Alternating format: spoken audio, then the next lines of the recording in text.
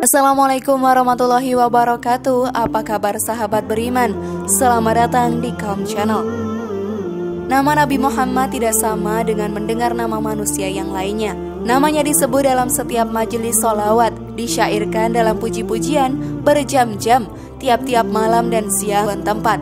Ternyata tidak pernah membosankan. Coba saja jika ada nama manusia yang lain disebut sesering Nabi Muhammad.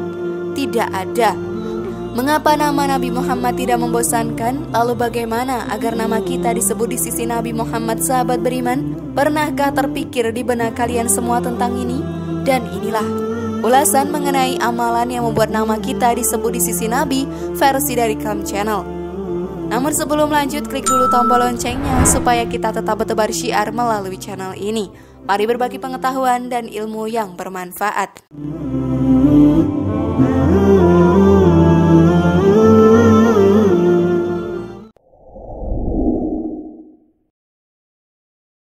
Nama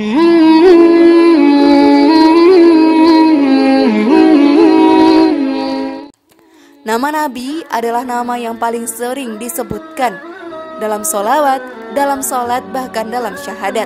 Sebab Allah berfirman, firman Allah yang artinya kami tinggikan sebutan namamu. Mujahid berkata, yakni tidak disebut namaku kecuali engkau juga disebut. Tafsir Abdur Al-Mansur. Dalam syahadat, ada nama Allah, juga disertakan nama Nabi Muhammad. Dalam solawat juga, bahkan dalam tahiyat sholat.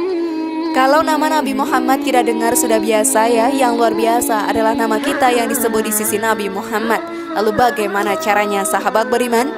Nabi bersabda, Perbanyaklah kalian bersolawat kepadaku, sebab Allah mewakilkan malaikat di dekat kuburku. Setiap, setiap ada umatku yang membaca solawat untukku, maka malaikat berkata, Muhammad, sungguh, Fulan bin Fulan telah bersolawat kepadamu saat ini. Hadis riwayat Dailami dari Abu Bakar. Wallahu a'lam bisawab.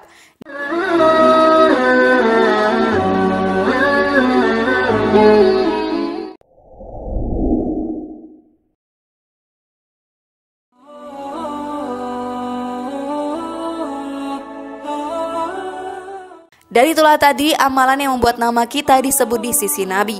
Bagaimana sahabat beriman? Berniat mengamalkannya sekarang? Semoga informasi tadi bermanfaat ya dan membuat kita berpikir lebih bijak. Mari bangun Calm Channel ini dengan cara klik tombol subscribe, like, share, dan aktifkan tombol loncengnya. Wassalamualaikum warahmatullahi wabarakatuh dan jangan lupa tonton video yang lainnya ya.